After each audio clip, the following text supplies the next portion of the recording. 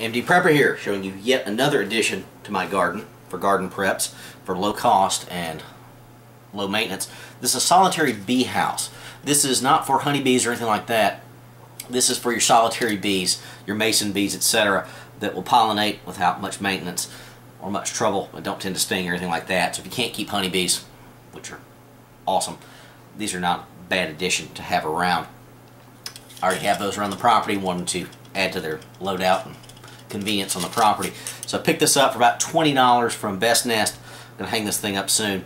Figured it was easier to show you before I hang it up than once it's actually in use. It's fairly solid. looks like fairly solid wood with dr holes drilled down in it. Uh, you can make this yourself if you had any kind of scrap lumber or anything like that. Got a little roof here to keep moisture out. What will happen is the bees will stay in here and then primarily lay their eggs on the inside of this in the fall and winter. And fall and spring they'll hatch out and there you go free pollinators. This should last several seasons from what they say on the website. Again I could have made this for a lot cheaper than the $20 I paid for it but I want to try it out first before I manufacture anything. I don't have the time to do all that.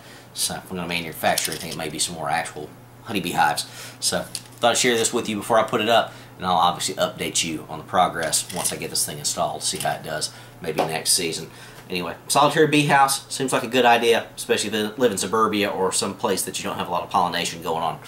MD Prepper out.